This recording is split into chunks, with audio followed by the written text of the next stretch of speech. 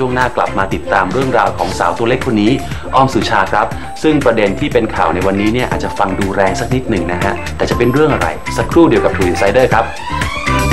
กลับเข้าสู่ช่วงที่ 2 ของรายการ True Insider นะครับ อย่างที่ผมได้เกริ่นเอาไว้เมื่อช่วงที่แล้วว่าเราจะมาเกาะติดเรื่องราวของสาวออมสุชานะครับซุปตาสาวตัวเล็กคนนี้ซึ่งโด่งดังไปทั่วเอเชีย ล่าสุดนะฮะเธอกำลังมีประเด็นครับที่ว่า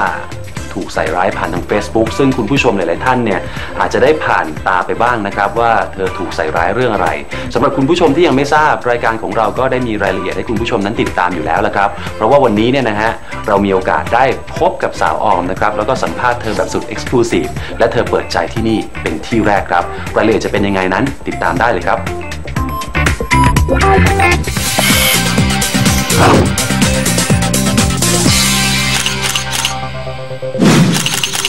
งานเข้าแบบไม่รู้เนื้อรู้ตัวซะงั้นค่ะสำหรับสาวน้อยร่างเล็กออมสุชามานายิ่ง ที่ถูกมือดีโพสต์แฉผ่าน Facebook ประมาณว่า นางเอกสาวคนหนึ่งชื่อย่ออทำตัวแรงเวลาเจอคนที่ใช่ จะตามตื้อทันทีโดยไม่สนสิ่งใด ถึงแม้ว่าฝ่ายชายจะไม่สนใจก็ตาม แม้โดยระบุอักษรย่อออกมาแบบนี้แฟนๆและคนทั่วไปก็เลยเดาไปต่างๆนานาว่า บุคคลที่เข้าข่ายน่าจะเป็นสาวน้อยออมสุชาค่อนข้างแน่นอน งานนี้สื่อมวลชนเลยพยายามติดต่อสาวออมกันให้ควักและประจวบเหมาะกับเมื่อวานนี้วันที่ 31 กรกฎาคม สาวน้อยร่างเล็กของเรามีอีเวนต์ไปร่วมพิธีเปิดงาน Taste of Korea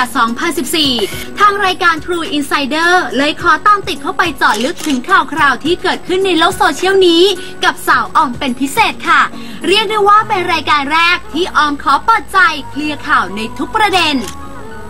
มรสุมอะไรก็ไม่รู้ไม่ไม่ได้รู้เรื่องอะไรเลย หมายถึงว่า ตอนที่เห็นข่าวก็งง งงว่า เอ้ย เกิดอะไรขึ้นเราเคยไปทำอะไรใครหรือเปล่า แต่ว่า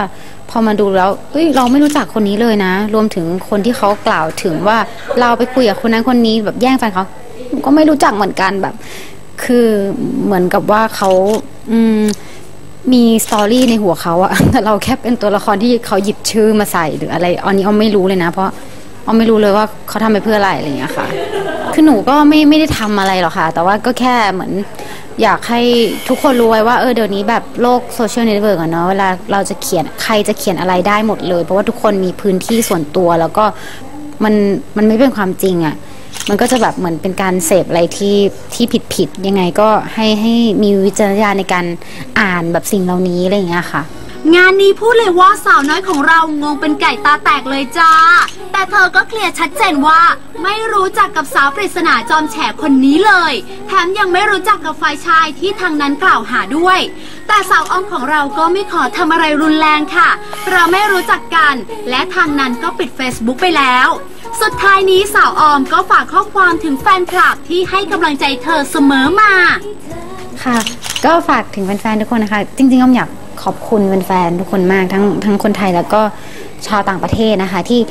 คือไม่ว่าออมหรือไม่หรือใครจะมีอะไรเรื่องที่เราทำให้หลาย ๆ คนคิดว่าเอ้ยเราอาจจะแบบทุกข์ใจหรือไม่สบายใจอย่างเงี้ยคือออมรู้สึกได้เลยว่าทุกคนแบบอยู่เคียงข้างเราแล้วก็ให้กำลังใจเราแบบแบบจริงใจอะ่ะเฮ้ยเขาไม่ตั้งคำถามด้วยซ้ำว่าเราเป็นคนไม่ดีจริงหรือเปล่า แต่ว่าเขาแบบเชื่อในตัวเราอะมันทำให้เรารู้สึกว่าแบบ เออมันมันคุ้มค่าในสิ่งที่เราเราเราทำมาอะไรอย่างเงี้ยค่ะ ก็ขอบคุณมาก ๆ ที่ที่อยู่แบบเหมือนให้ให้กำลังใจในหลาย ๆ เรื่องอะค่ะ สุดท้ายนี้สาวออมก็ฝากข้อความถึงแฟนคลับที่ให้กำลังใจเธอเสมอมาค่ะ